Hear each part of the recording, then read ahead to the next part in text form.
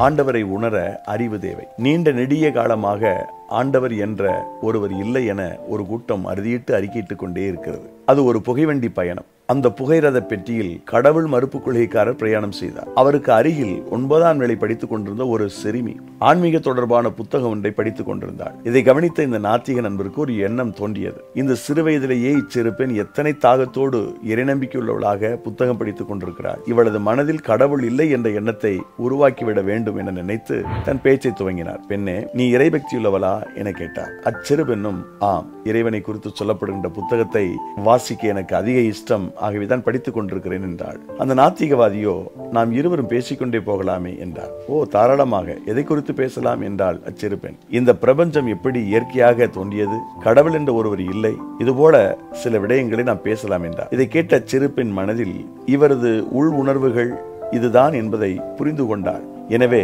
அவரை பார்த்து நீங்கள் என்னிடம் கடவுள் மறுப்பு விடயங்களை பற்றி பேசும் முன் தங்களிடம் கேட்க என்னிடத்தில் ஒரே ஒரு கேள்வி உண்டு என்றார். நீ தாராளமாக கேட்கலாம் என்றார் அந்த நாத்திகவாதி மாடு ஆடு மான் குதிரை போன்ற மிருகங்கள் அத்தனையும் புல்களைத்தான் உணவாக சாப்பிடுகின்றன. ஆனால் அவைகள் போடும் சாணங்கள் அதாவது கழிவுகள் அவைகளில் பெரிய வித்தியாசம் இருக்கிறது.